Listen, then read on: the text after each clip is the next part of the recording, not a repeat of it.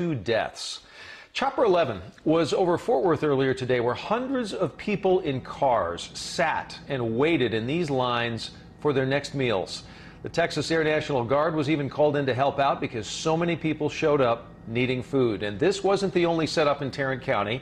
In fact, there were four other drive-throughs in Fort Worth, and there was one in Mansfield as well.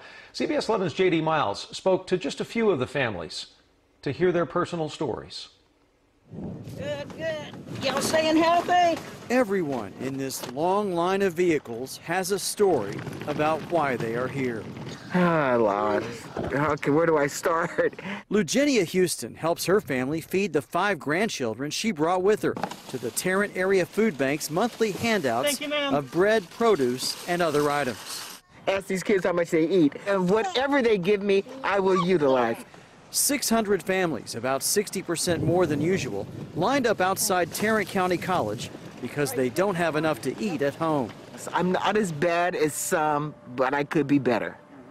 So it's not, it's not dire, but it's getting there. and we have served well over 600 families. So we generally in a month serve around 300 families. The families today are, um, some of them are living in their vehicles. Um, the, the need is everything. Before the boxes were loaded into the back of vehicles, they were packaged inside the Cowtown Marathon's warehouse by members of the Texas Air National Guard. I think we've experienced a 60% increase in distribution, and for that reason, we have run out of uh, space. We were mobilized uh, yesterday, uh, this specific group of Those on the receiving end can't express how grateful they are at a time like this.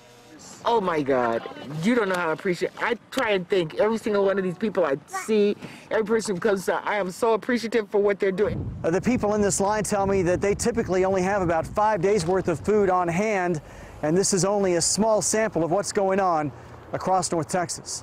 In Fort Worth, JD Miles, CBS 11 News.